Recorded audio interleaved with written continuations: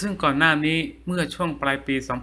2554 ที่ผ่านมา นักแสดงหนุ่มชื่อดังอย่างอาร์ตี้ธนชัดดนยชัด ก็ได้ออกมาเปิดเผย ยุติความสัมพันธ์สามีภรรยามาระยะหนึ่งแล้ว โดยที่ทางด้านของฝ่ายหญิงก็ได้ออกมาพูดก่อนหน้านี้โดยเผยว่าเนื่องจากส้มและก็พี่อาร์ตี้ก็ได้ยุติความสัมพันธ์กันมาได้ระยะหนึ่งแล้วและก็ยังไม่ได้จดทะเบียนหย่ากันนะคะ จนวันหนึ่งส้มก็ได้ทราบเหตุการณ์หลาย ๆ อย่างที่อาร์ตี้ทำและก็ก็ได้คิดไตร่ตรองอย่างดีกับเหตุการณ์ที่เกิดขึ้นทำให้มั่นใจว่าไม่สามารถมีชีวิตคู่กับอาร์ตี้ได้อีกแล้ว จึงได้ทำการติดต่อพี่อาร์ตี้และก็ทางครอบครัวพี่เขา เพื่อให้มาทำการจดทะเบียนหย่าและก็เคลียร์ภาระต่างๆ ที่มีเอาไว้ทางส้มนะคะ แต่ก็ไม่สามารถติดต่อได้ทุกช่องทางค่ะ หลายคนอาจจะคิดว่าทำไมไม่พูดกันส่วนตัว ไม่ใจเย็นๆส้มเย็นมากแล้วนะคะ อดทนมาโดยตลอดแต่ภาระที่เขาทิ้งเอาไว้ก็หนักมากๆ ส้มพยายามอย่างที่สุดนะคะ ที่จะ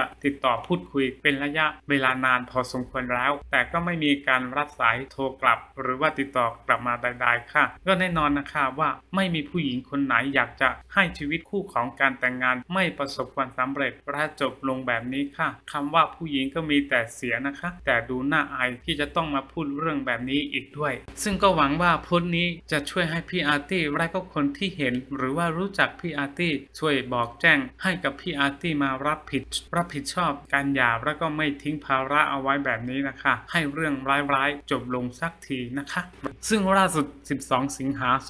2565 ทางด้านหนุ่มอาร์ตี้เจ้าตัวก็ได้ออกมาเผยเกี่ยวกับรอยสักรูปภรรยาที่หน้าอกบอกไว้ว่า เหลือแก้แค่รอยสักอีกประมาณ 1-2 รอบ แต่เพียงแค่งานแก้ จึงไม่มีอะไรที่เป็นร้อยเปอร์เซ็นต์ตั้งใจว่าจะรบทั้งหมด แต่ก็ต้องดูร่างกายด้วยว่าจะไหวแค่ไหน ก็เลยเลือกที่จะเปลี่ยนลาย และก็จะสักทับเป็นกอริลลาแต่กอริลลาก็ไม่ได้มีความหมายอะไร แค่มันเป็นสีดำๆและก็ดูกลมกลืนสีเดิมเพียงเท่านั้น